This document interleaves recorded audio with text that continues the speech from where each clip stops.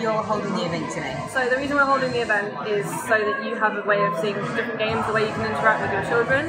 Because obviously, when you think of video games, you think of Call of Duty, Grand Theft Auto, and that's not all there is to it.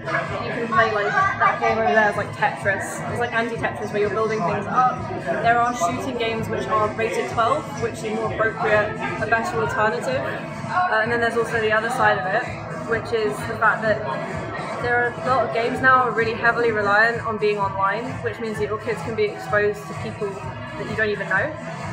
So you know that there's actually ways of setting up your console that they don't have to do that, or you can block messages from people who aren't approved through a friends list. But you won't know about any of those things or be able to use them if you don't know where to find that information or have people to talk to you about it.